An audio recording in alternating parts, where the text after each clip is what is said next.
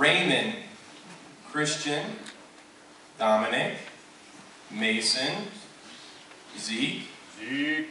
and Haley. Come on up.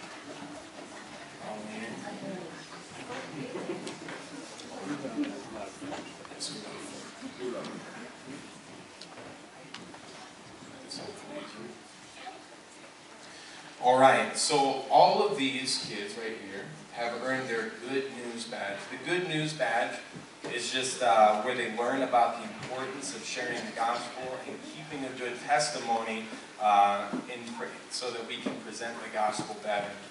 And then uh, what they did to earn this badge is they handed out four tracts, and then they had an assignment out outside of Master Club where they had to help a person in need, and they all accomplished that.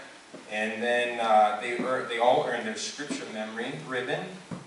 That's this right here. That means that they each learned and memorized eight verses each. Um, and then they each get an attendance star. That's eight straight weeks that they came to Sunday school. So you can give them all an applause.